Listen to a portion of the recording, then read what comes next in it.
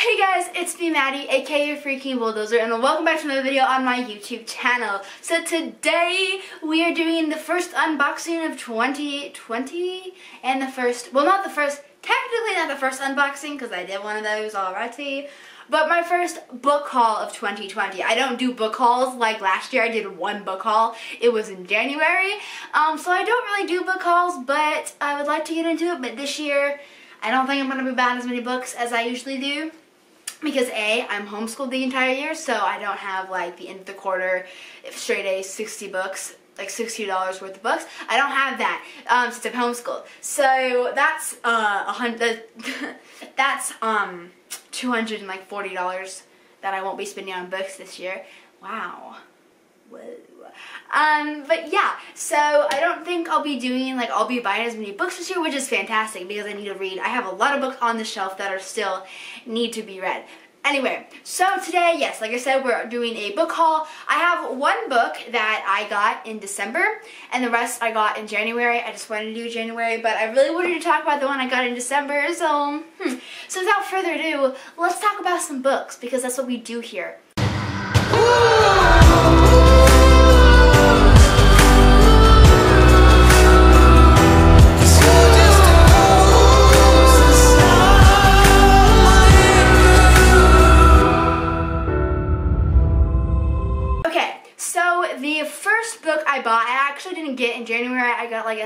December. I was we got it off Amazon. I saw it at Walmart like a few days before, and I instantly wanted it purely because of how beautiful it is. And that is The Tale, A Tale.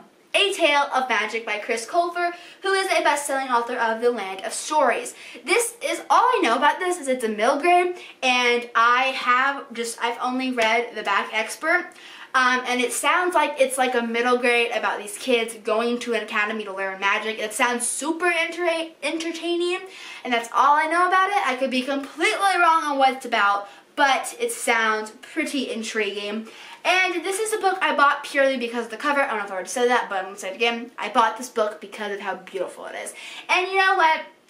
Probably looking at it, you're just like, it's not, it's not super pretty. Like, it's a gorgeous, like, cover, but it's not, like, super pretty. And you know what? You would be correct.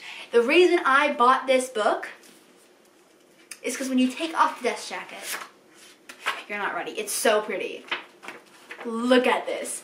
It is an entire landscape on a book. So this is the um, like undercover dust jacket and it is so pretty. It's got so many details and it's just, it's just gorgeous. And this is the entire reason why I bought this book. Okay, so now we're gonna finally get into January book buys. I bought all of these books in January. I'm filming this February 1st. You're not seeing it till like the third Monday of the month, so like, I don't know, what day that is. I don't know, but it's been it's gonna be a while since I filmed this when you guys finally seen it. So I bought this book the first Saturday of January. We went to Barnes & Noble, my mom, my mom and I did. And while there, I got a lot of books that I wanted to read and buy and have on my shelf.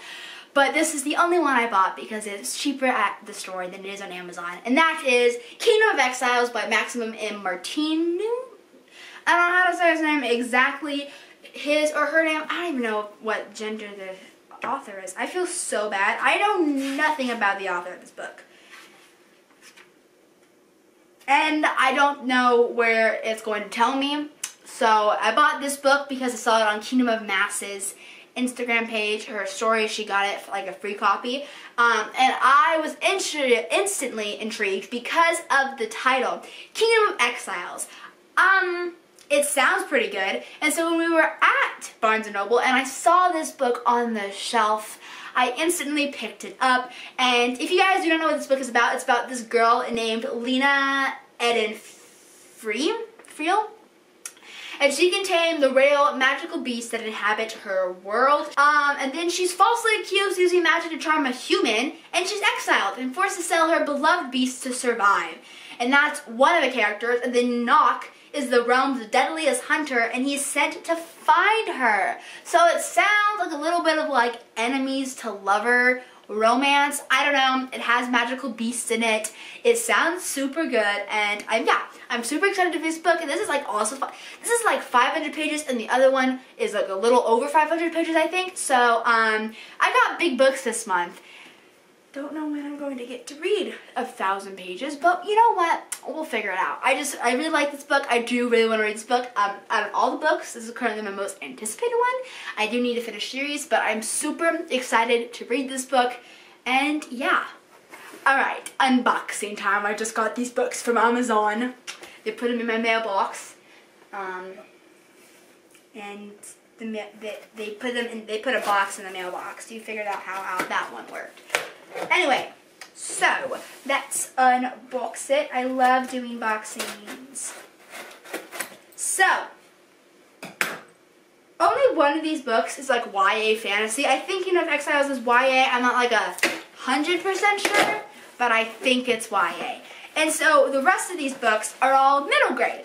And I have a reason for that. I didn't just buy middle grades for the heck of it. Um, I bought them because in NaNoWriMo, this is just like a, because I have this idea for a middle grade and I really want to write it, but I'm waiting till NaNoWriMo to write it and it's a middle grade. So I've been reading middle grades this entire year. I'm going to be rereading middle grades, reading middle grades for the first time that I've never read before, so I can like understand the style of a middle grade because middle, writing middle grade is very different than writing YA time travel stories like that. So, right? So, let's, just the first one in here is Artemis Fowl by Aaron Colfer. Wait. Are y'all related?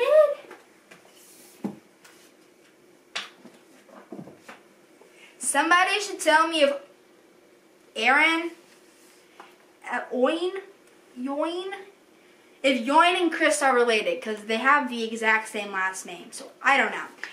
But this is the first book that's in this box, Artemis Fowl. I want this book because obviously, look at this cover. Look at this cover. It's so pretty. This is also, this is like a book that I, I bought this book because, I mean, look at this cover. It is so gorgeous. I don't know what this book is about. Um, I think it's like a soon to be a major motion picture from Walt Disney Studios. So my boys at Disney are adapting this into a movie and it kind of matches the wall. So yeah. So of course I'm going to read this. It seems pretty short too. So anyway, let's read what it's about and figure out what this book is about. I will be, I'm going to read this book before I see the movie. Stay back, human. You don't know what you're dealing with. 12-year-old Artemis Fowl is a millionaire, a genius, and above all, a criminal mastermind.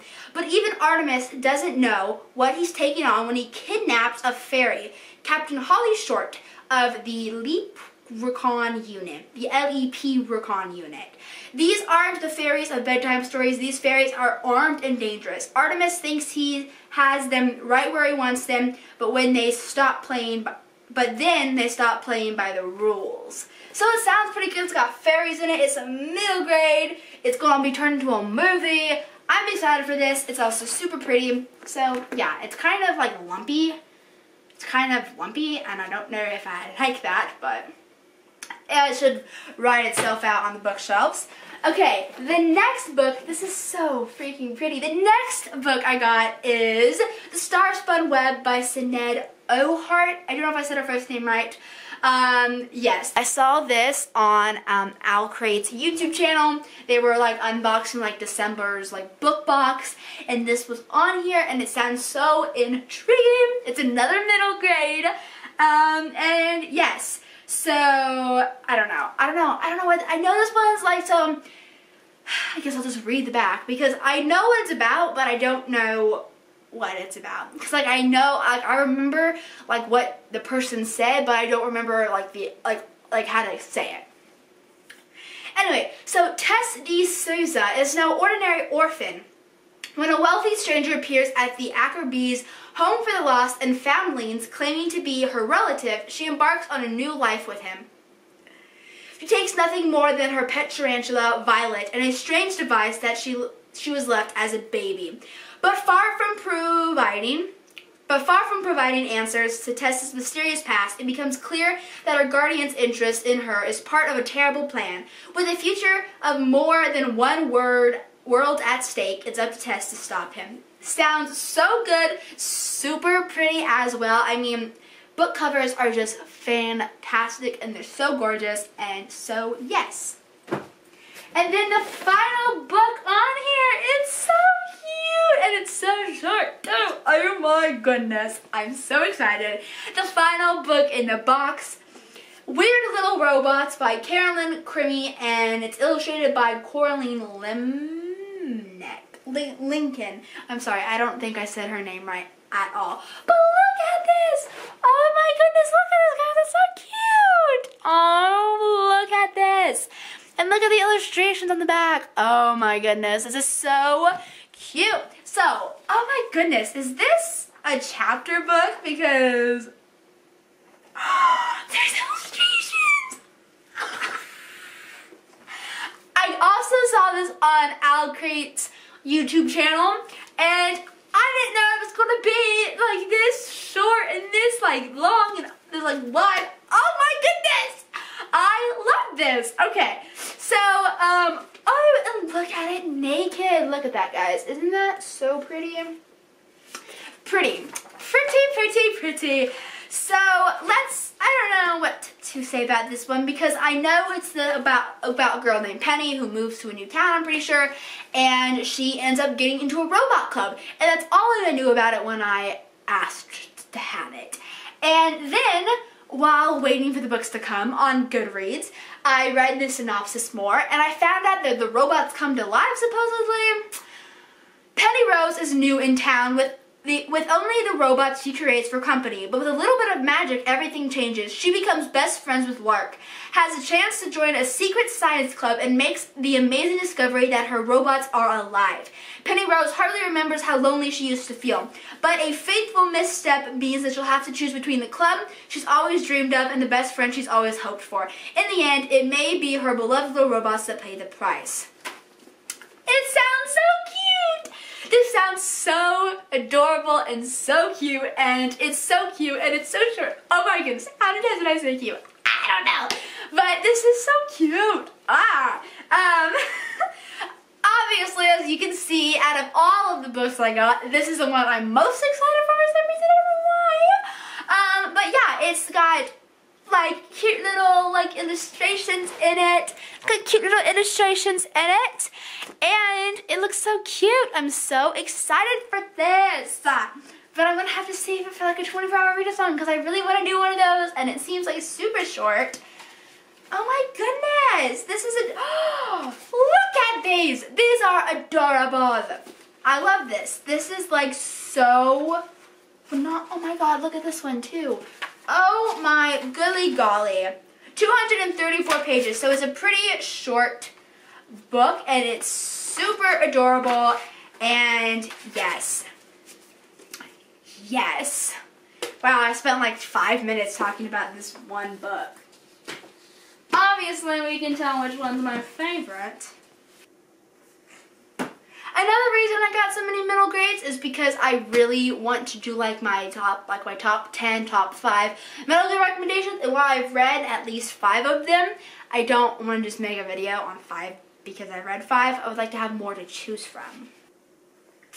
Anyway guys, thank you so much for watching this video. If you've enjoyed, don't forget to give it a big fat thumbs up and subscribe down below because I post videos every single Monday.